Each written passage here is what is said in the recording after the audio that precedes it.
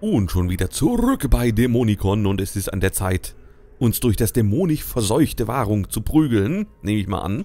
Also ich gehe mal davon aus, es läuft auf Prügeln hinaus. Und wir gehen einfach mal raus und beschützen... Ah, da fängt es schon an. Beschützen... Wieso denn direkt vor der Tür? Was ist denn mit ihm? Oh, da ist der Nekromant.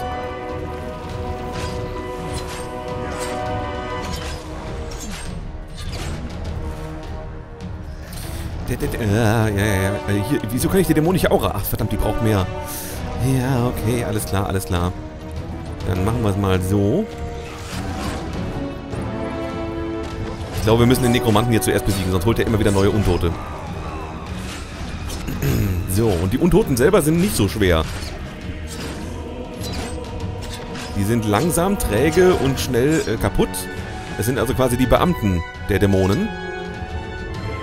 Blutige, abgeschlagene Hand. Ich glaube, das ist dämonisch, aber ich nehme es mit.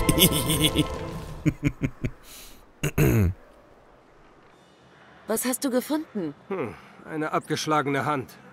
Ein Rest vom Sturm auf das Zeughaus.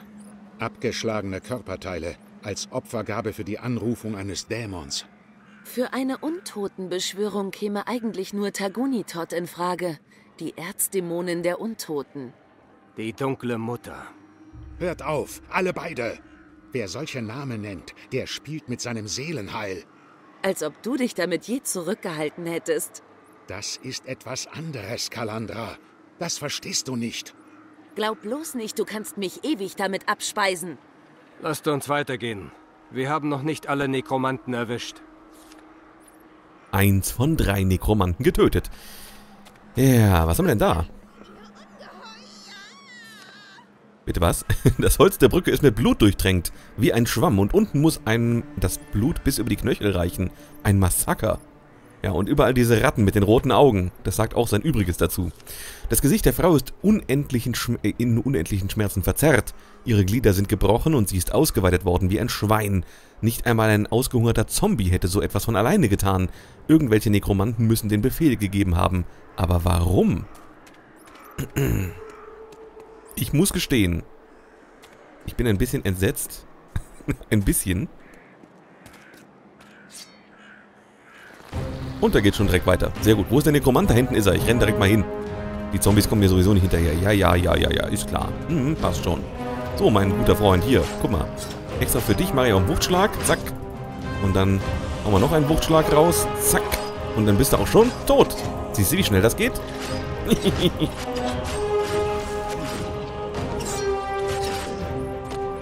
Don't mess with the Chiron.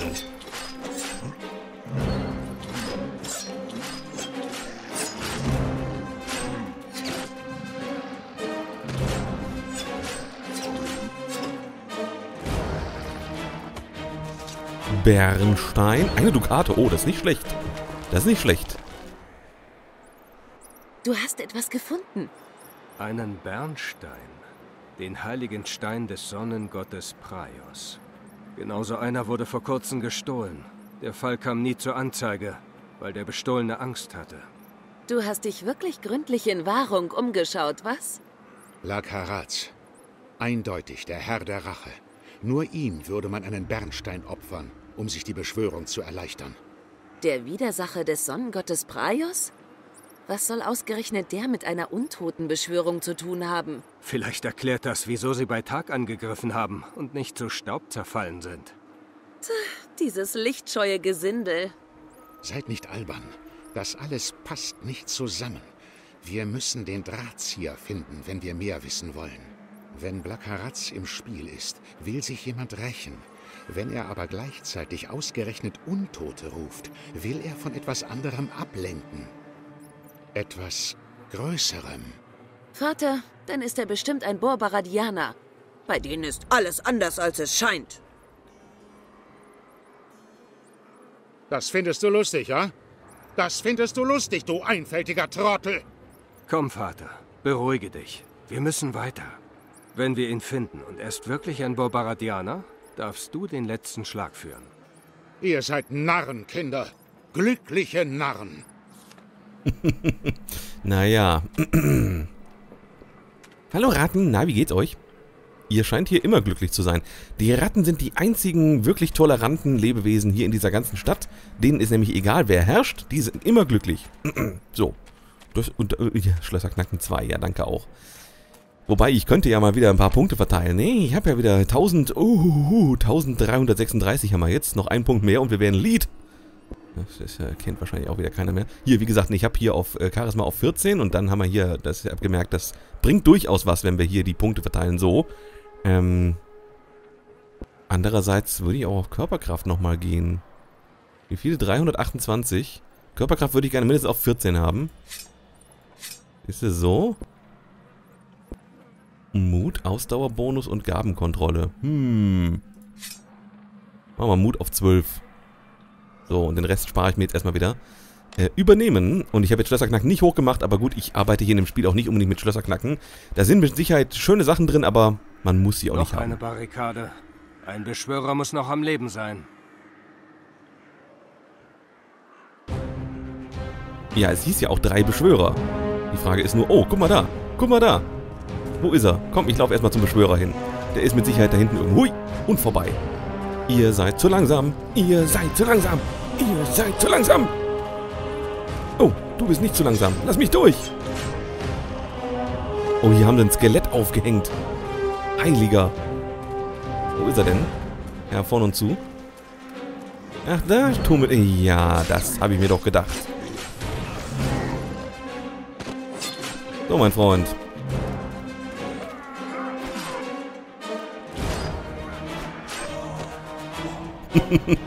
das war das schnelle Ende eines, eines Nekromanten. Äh, ja komm, wir holen die dämonische Aura mal hervor. Ich meine, sie äh, nützt jetzt eigentlich gar nichts mehr, aber es hieß ja, ich solle die, die, die, die, die, äh, die dämonischen Kräfte, die wir haben, öfter im Kampf benutzen, weil wir dann auch deutlich mehr Punkte bekommen, um die dämonischen Kräfte aufzuwerten. Sprich, Richt, da ist das Richtschwert, das verloren gegangen ist und das von der Garde gesucht wurde. Da ist es.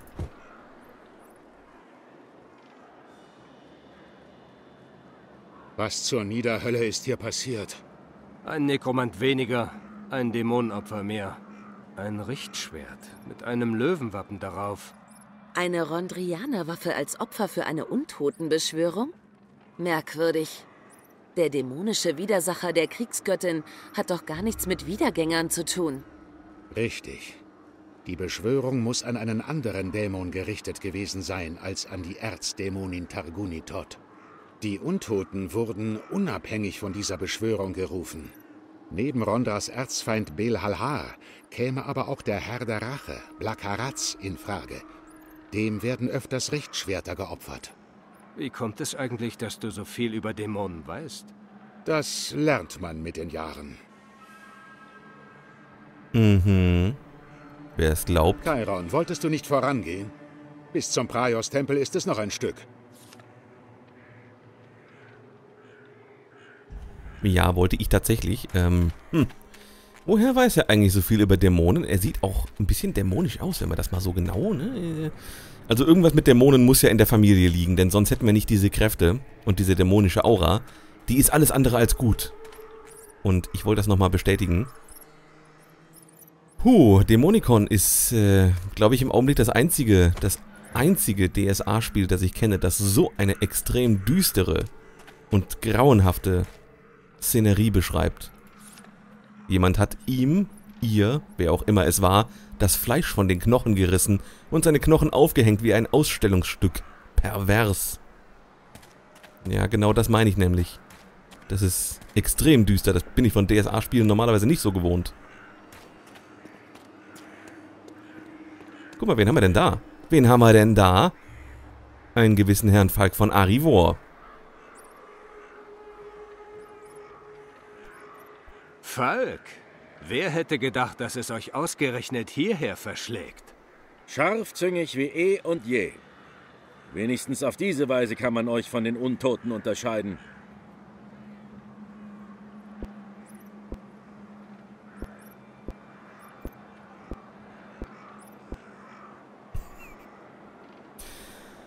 Ja, Bauchgefühl sagt, hm, aber wir haben keine Beweise gegen ihn. Wir würden das Bürgerrecht aufs Spiel setzen, wir würden selber zu Ausgestoßenen und Verachteten werden, solange wir nicht... Wobei, ist die Frage, wenn ich das sage, kämpft er dann? Aber wir sollten uns ein bisschen zurückhalten. Falk, seid ihr hier, um zu helfen? Die Untoten haben sich nicht spontan erhoben. Jemand hat sie gerufen. Wir sind diesem Mann bis hierher gefolgt. Der Anführer der untoten Beschwörer ist in den Praios-Tempel geflohen. Er sitzt in der Falle. Das Haus des Sonnengottes wurde entweiht. Der Gott der Fürsten wird die Niedersten nicht schützen. Wenigstens das wissen wir jetzt. Und wir wissen, wohin die Seele dieses Nekromanten fahren wird, wenn wir mit dem fertig sind. Nein, Falk vertraue ich nicht. Falk vertraue ich nicht. Der wird irgendeinen Pakt mit dem schließen. Ich töte ihn. Verteidigt die Flüchtlinge. Ich gehe rein. Ihr wart sehr tapfer. In Rondras Namen lasse ich euch den Vortritt. Oder was? Fürchtet ihr plötzlich um eure sauberen Finger? Nein, werter Chiron. Einmal im Leben sollt auch ihr die Gelegenheit haben, euch auszuzeichnen. Vielleicht hört ja eine reiche Bürgerstochter von eurem Mut. Eine geschickt arrangierte Heirat mit so einem kleinen Flittchen könnte auch euch das Bürgerrecht verschaffen. ich glaube, hier kommt es doch gleich noch zum Kampf. Du gehst zu den Huren! Du. Chiron! Bitte. Ich gehe rein. Hast du ein Glück, dass Kalandra hier ist? Ja, wir treffen uns schon nochmal.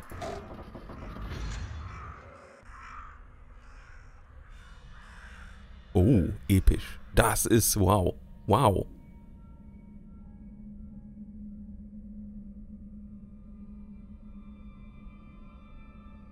Chiron, ich habe dich erwartet. Woher kennst du meinen Namen? Wo du hingehst, brauchst du keinen Namen mehr.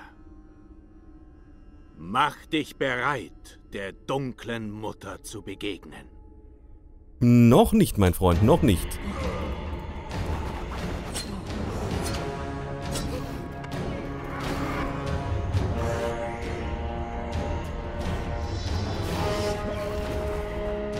Guck mal, es sind wieder Wühlschrate unterwegs. Ich wollte es nur mal gesagt haben. Es sind wieder Wühlschrate unterwegs.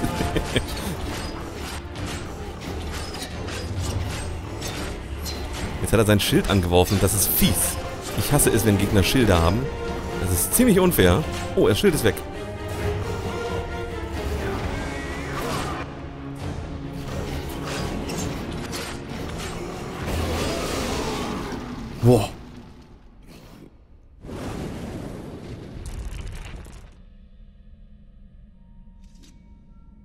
Er ist einfach abgehauen? Das wird man doch jetzt uns zur Last legen. Chiron, warum hast du ihn nicht umgebracht? Das Auge des Beschwörers, Opferherz, glühender Splitter. Nach der Flucht des Schurken blieben viele Fragen offen. Wer war der Beschwörer? Was wollte er erreichen? Warum hatte Falk, ein ranghoher Rondrianer, ausgerechnet Chiron den Vortritt im Kampf gegen den Beschwörer gelassen? Anstatt einer Antwort befahl Falk den Rondrianern, das Flüchtlingslager abzuriegeln und darin mit allen Mitteln nach dem Beschwörer zu suchen. Seine Braut Kalandra und ihre Familie quartierte er im Alten Pranger ein, dem besten Gasthaus am Platz. Zumindest jetzt, da die Hochzeit näher rückte, schien er sich auf Kalandras Wohlergehen zu besinnen. Jedenfalls erweckte er diesen Anschein. Ich glaube, Falk und seine in Anführungszeichen Mutter sind immer noch nur hinterher hinter diesen dämonischen Kräften. Hör auf zu lauschen, Chiron. Was im Nebenzimmer gesprochen wird, geht dich nichts an. Falk spricht mit seiner Mutter. Plant wahrscheinlich sein nächstes Verbrechen, der Bastard. Hör auf! Wir haben verstanden, dass du sie nicht leiden kannst. Nicht mal du magst die beiden, Vater. Wir konnten doch sehen, wie du Falks Mutter angestarrt hast. Du gewöhnst dich besser an die beiden. Das werde ich nicht tun, Vater. Wir haben das Bürgerrecht. Wir brauchen sie nicht mehr. Du wirst Falk heiraten und mit ihm ziehen, sobald er von seiner Kirche versetzt wird. Ich gehe, wohin ich will. Und ich heirate, wen ich liebe. Halt den Mund, Kalandra. Du weißt ja nicht mal, wovon du sprichst. So redest du nie wieder mit uns. Sonst sitzt du morgen früh alleine auf deinem verfluchten Bürgerrecht. Du bist ein rebellischer Idiot, Chiron. Hör auf, deine Schwester aufzuhetzen. Vater? Ich liebe Chiron. Du... Du weißt nicht, was du da sagst.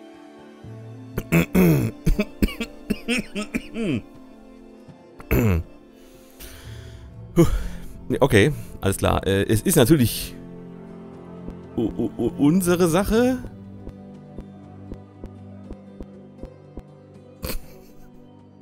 Ja, als Schwester, äh, natürlich, äh, das ist ganz klar, als Familie liebt man sich gegenseitig. Man verzeihe mir, wenn ich das jetzt einfach mal mache. Und ich liebe sie. Kinder, ihr rennt in euer Unglück. Ich hoffe, ich störe nicht. Ich dachte, vielleicht möchte mir die kleine Kalandra ein paar Ratschläge geben, wie wir die Hochzeit besonders geschmackvoll gestalten können. Der alte Rondra-Tempel ist so ein schmuckloses Gemäuer. Und es wäre doch schade, wenn unsere Geschmäcker allzu verschieden sein sollten. Gewiss. Sie wird mit euch kommen. Vater! Mein lieber Chiron, es ist wirklich rührend, wie sehr du dich um dein Schwesterchen sorgst. Aber auch ich glaube, sie sollte für sich selbst entscheiden, nicht wahr, Bjan Baladein? Ich komme mit. Na, hervorragend. Wir werden ein Fest ausrichten, wie es Wahrung noch nicht gesehen hat. Komm mit. Und der besorgte Herr Bruder kann später natürlich gerne nachkommen zum Tempel. Gehabt euch wohl, meine Herren. Die hat irgendeinen Zauber angewandt. Das hat man gemerkt. Kalandra ist nicht freiwillig mit Falks Mutter gegangen. Sie ist verzaubert worden. Das war ein Ban Baladin. Ein harmloser Elfenzauber. Wahrscheinlich hat Falks Mutter versucht, die Situation zu entspannen. Mhm. Und gerade weil der Banbaladin so harmlos ist, ist er verdächtig. Sie muss diesen Zauber sehr, sehr gut beherrschen, um jemanden zu beruhigen, der so zornig ist wie Kalandra. Hast du ihre spitzen Ohren bemerkt? Wenn sie eine Elfe ist, wie kann sie dann Falks Mutter sein? Er ist kein Halbelf. Vielleicht ist sie nur seine Ziehmutter. Das gibt es öfter, als man denkt. Du willst es einfach nicht begreifen. Dass Kalandra ausgerechnet im alten Rondra-Tempel heiraten soll. Die Warunker sagen, dieser Ort war ein nekromantisches Hurenhaus. Es geht Falk um die Geste. Das gute Neue besiegt das schlechte Alte. Die Warunker werden ihn dafür lieben. Sennenmeister Jakon wird das nicht schätzen. Es untergräbt seine Autorität. Doch er ist nicht in Wahrung. So kann Falk Gehorsam von allen Rondrianern einfordern. Auch von denen, die weniger nachsichtig sind. Während Falk seine Hochzeit vorbereitet, durchkämmen die Rondrianer das Flüchtlingslager. Sie suchen den Beschwörer. Wenn er sich wegteleportiert hat, könnte er jetzt überall sein. Es war ein transversales Zauber. Ungewöhnlich für einen Nekromanten. Du hattest recht. Die Erhebung der Untoten diente wirklich der Ablenkung von etwas Größerem. Von dem, was die Anrufung des Blackarats bewirken sollte. Aber was könnte größer sein als ein Ansturm von Untoten auf die Weststadt? Es ist jedenfalls merkwürdig, dass Falk nun alle Kräfte der Rondrianer auf das Flüchtlingslager konzentriert. Als wollte er sie von einem anderen Ort fernhalten. Trotz allem ist Falk ein Rondrianer. Was sollte er mit dem Erzdämon der Rache zu tun haben? Ich weiß es nicht. Aber es ist merkwürdig, dass der Beschwörer meinen Namen kannte. Hm, den kann er ja eigentlich nur erfahren haben, wenn er entweder ja schon vorher im Flüchtlingslager unterwegs war. Obwohl, eigentlich ist es nicht merkwürdig, sagen wir mal ehrlich. Er war doch derjenige, der in der ganzen Stadt bekannt wurde dafür, dass er diesen, diesen Kannibalen hat laufen lassen. Also so unwahrscheinlich ist es nicht. Falk ist ein Hurentreiber, ein Verräter und wahrscheinlich noch Schlimmeres.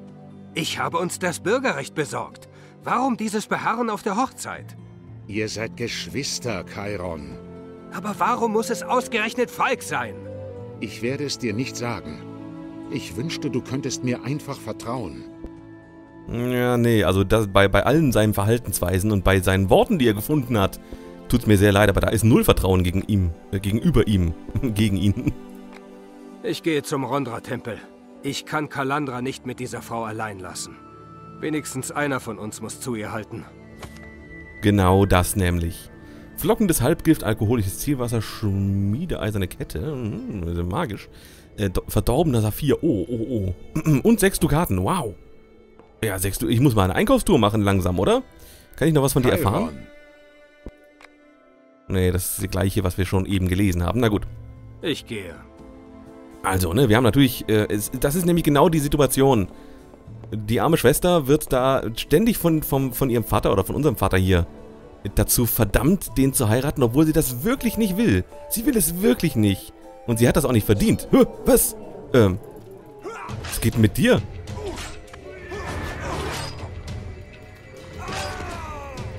Was ist denn hier? Ist das Kreuzerkartell hinter mir her oder was? Ja, ja. Das wurde ja schon gesagt, dass das Kreuzerkartell eventuell gewisse Animositäten entwickeln könnte, die dazu führen, dass wir das ein oder andere Mal auf offener Straße überfallen werden anscheinend.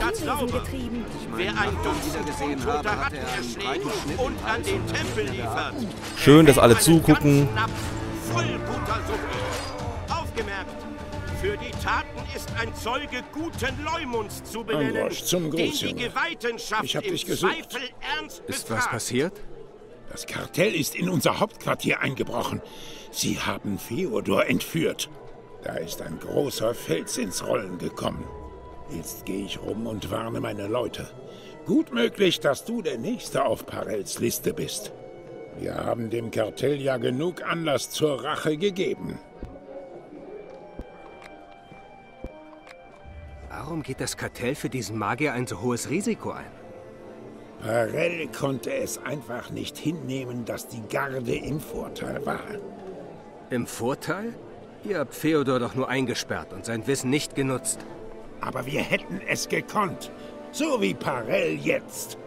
Natürlich habe ich Feodor nicht wie einen Gast behandelt, aber schließlich ist er auch ein Ketzer. Man kann nicht einfach sagen und tun, was man will. Jeder trägt Verantwortung für seine Taten. So? Bei Angroschs Bart jawohl. da wird er richtig laut, der Kleine. Habt ihr von der Entweihung des Praios-Tempels gehört? Ja, und ich hörte, dass du dich gut geschlagen hast, Junge. Schade, dass die Rondrianer den Fall an sich gerissen haben. Es war sehr merkwürdig. Überall gab es Hinweise auf den Herrn der Rache. Vielleicht war dieser ganze Angriff ein Ablenkungsmanöver. Klingt nach dem Kartell. Denen ist alles zuzutrauen. Wieso sollte das Kartell etwas mit der Entweihung des Tempels zu tun haben? Wer immer den Schurken fängt, die Warunker werden ihn feiern. So etwas könnte Parell sehr nutzen, wenn sich das Machtgefüge wieder verschiebt. Ihr meint, wenn wieder Ämter vergeben werden? Ganz schön gerissen, der alte Parell. Schmiedet sich selbst einen Drachen, versenkt ihn im Badangr und zieht dann als Drachentöter nach Xorlosch. Was? Ich meine, dass sich Parell Ruhm ergaunern will. Ganz einfach, Junge. Und wenn nicht Parell hinter dem Nekromanten steckt, sondern Falk von Arivor? Nun ja, wenn er den Nekromanten festnimmt, werden die Warunker ihn als Helden feiern. Und er hätte vermutlich Aussicht auf Jakons Position als Oberhaupt der Rondrianer. Immer langsam, Junge. Sennenmeister wird man nicht von heute auf morgen. Da müsste er Jakon schon im Zweikampf erschlagen. Und für so einen Zweikampf bräuchte er einen wirklich guten Grund. Sonst steht ihm am nächsten Tag die halbe Rondra-Kirche im Stollen. Ähm, äh, vor der Tür, meine ich. Mit Schwertern. Du weißt schon, Junge. Doch viele Warunker wären auf seiner Seite. Er könnte über die Rondrianer hier befehlen und die Stadtmauern würden ihn schützen. Im Moment sind sie jedenfalls in der Weststadt unterwegs. Vielleicht finden sie den Burschen ja. Und wenn nicht, finden wir ihn. Wir haben ja jetzt freie Bahn, wo die Rondrianer weg sind. Ich gehe jetzt zum alten Rondra-Tempel. Ich wollte dort meine Schwester abholen. Gut, Junge.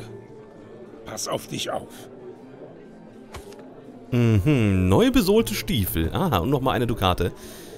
Ja, er hat die Rondrianer abgezogen und ich denke, da muss ich dem... Chiron. Ja, das ist Chiron. Du, selbst die Händler hier kennen mich. Ist also nicht so unwahrscheinlich, dass auch der Nekromant irgendwann mal von uns gehört hat.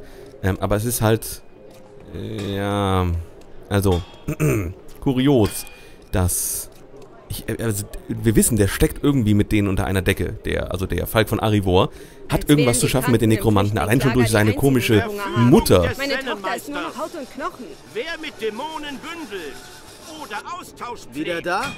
Sag an, wie viele Unholde hast du mit meinem Eisen schon erschlagen? Es waren leider nicht so viele. Falschen benötigter Rang 1. Guck mal hier. Ich wollte ja mal gucken. Improvisierter Streitkolben. Ja, toll.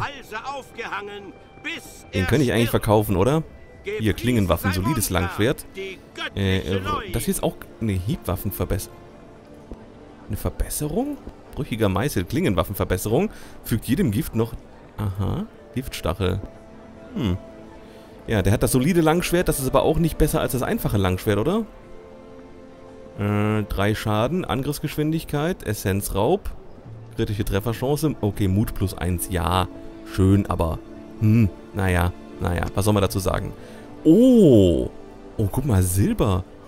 Silberne Rüstungen. Für 46 Dukaten. Wir haben... Wir haben durchaus einiges an Dukaten, was wir angesammelt haben. Ich glaube, das werde ich mal ganz in Ruhe... Werde ich mal den Verkauf und den Ankauf hier tätigen. So zwischen den Folgen.